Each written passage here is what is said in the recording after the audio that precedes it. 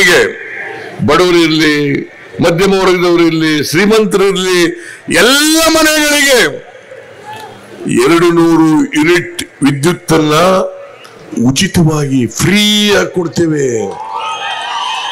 ನಾನು ಕೇಳಿದೆ. ಎರಡು ಮಕ್ಕಳಿಗೆ ಕೇಳಿದೆ. ಚನ್ನದೇವ್ರೆ ಎಷ್ಟು ಆಗ್ಬಹುದು ಒಂದು ಮನೆಗೆ ಅಂತ. ದೊಡ್ಡ ಮನೆಗಳಾದರೆ, ಶ್ರೀಮಂತರ ಮನೆಗಳಾದರೆ ಮುನ್ನೂರು, ನಾಲ್ಕುನೂರು ಯೂನಿಟ್ ಆಗ್ತದೆ. ಬಡವರ ಮನೆ ಆದ್ರೆ ನೂರು, ನೂರೈವತ್ತು. ನಾನು ಕೇಳಿದೆ, ಪುಷ್ಪ ಕೇಳಿದೆ ನಾನು. ಪುಷ್ಪ ಹೇಳಿದ್ರು ನಮ್ಮ ಬನ್ನೂರಿನಲ್ಲಿ, ನಮ್ಮ ತಂದೆ ಬರೆಯಲ್ಲಿ ನೂರ ನೂರ ತೊಂಬತ್ತು ನೂರ ನೂರ ಇಪ್ಪತ್ತು ನೂರೈವತ್ತರ ಒಳಗಡೆ ಬರ್ತಿತ್ತು ಅಂತ. ಆವರೇಜ್ ಸರಾಸರಿ ಇನ್ನೂರು ಯೂನಿಟ್ಗಳಿಗೆ ಫ್ರೀಯಾಗಿ ಫ್ರೀಯಾಗಿ ವಿದ್ಯುತ್ ಕೊಡ್ತದೆ. ನಾನು ಇವತ್ತು ಹೇಳಿ ಹೋಗ್ತಿರುವೆ. ನಾವು ಕೊಟ್ಟ ಮಾತಿನಂತೆ ನಡ್ಕೊಳ್ತೇವೆ. ಕೊಟ್ಟ ಮಾತಿನಂತೆ ನಡ್ಕತ್ತೇವೆ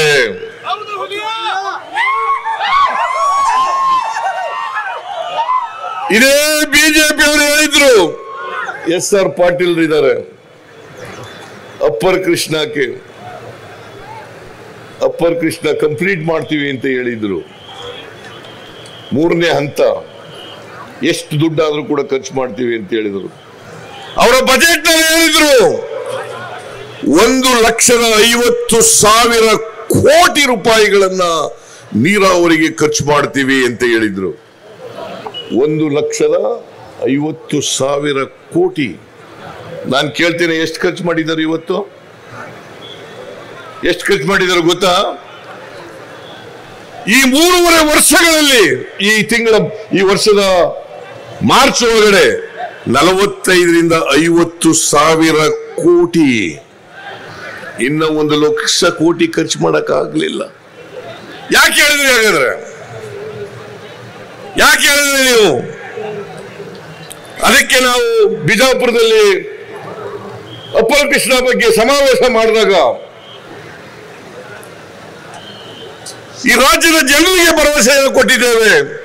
ನಾವು ಅಧಿಕಾರಕ್ಕೆ ಬಂದ್ರೆ ಆಲ್ ಪೆಂಡಿಂಗ್ ಇರಿಗೇಷನ್ ಪ್ರಾಜೆಕ್ಟ್ಸ್ ಮುಗಿಸ್ಲಿಕ್ಕೆ ಎರಡು ಲಕ್ಷ ಕೋಟಿ ರೂಪಾಯಿಗಳನ್ನ ಖರ್ಚು ಮಾಡ್ತೇವೆ. ಎರಡು ಲಕ್ಷ ಕೋಟಿ ರೂಪಾಯಿಗಳನ್ನ ಖರ್ಚು ಮಾಡ್ತೇವೆ.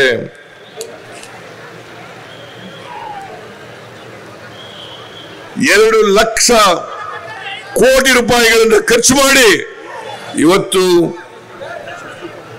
ಬಾಗಲಕೋಟೆ ಸಂತ್ರ ಸಂತ್ರಸ್ತರಿದಾರಲ್ಲ, ಅವ್ರಿಗೆ ಇನ್ನ ಪರಿಹಾರ ಕೊಡಕ್ಕಾಗಿಲ್ಲ. ಅವರ ಜಮೀನುಗಳಿಗೆ ಪರಿಹಾರ ಕೊಡಕ್ಕಾಗಿಲ್ಲ.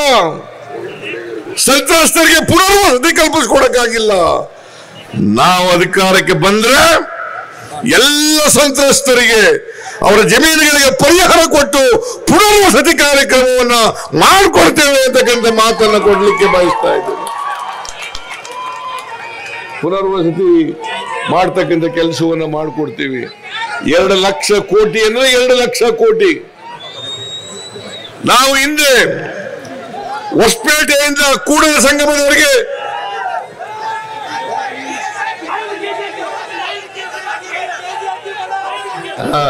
ಹೇಳ್ತೀನಿ, ಏಯ್ ಇರಪ್ಪ ಏಯ್, ಕೂತ್ಕೋ. ಎರಡು ಲಕ್ಷ ಕೋಟಿ ರೂಪಾಯಿಗಳನ್ನ ನೀರಾವರಿಗೆ ಖರ್ಚು ಮಾಡ್ತೀವಿ. ಅದು ಮೇಕೆದಾಟು ಇರ್ಬೋದು, ಅಪ್ಪರ್ ಕೃಷ್ಣ ಇರ್ಬೋದು, ಮಾದಾಯಿ ಇರ್ಬೋದು, ಅಪ್ಪರ್ ಭದ್ರ ಇರ್ಬೋದು, ಮತ್ತೆ ಸಮಾನಾಂತರ ಸಮಾನಾಂತರ ತುಂಗಭದ್ರಾ ಡ್ಯಾಮ್ಗೆ ಸಮಾನಾಂತರವಾದಂತ ಡ್ಯಾಮ್ ಕಟ್ಟೋದಿರ್ಬೋದು ಅದು ಮೂವತ್ತೇಳು ಟಿ ಎಂ ಸಿ ಈಗ. ಮೂವತ್ತೇಳು ಟಿ ಎಂ ಸಿ ನೀರು ಊಳು ತುಂಬಿಕೊಂಡಿರೋದ್ರಿಂದ ಕಡಿಮೆ ಆಗ್ಬಿಟ್ಟದೆ. ಇನ್ನೂ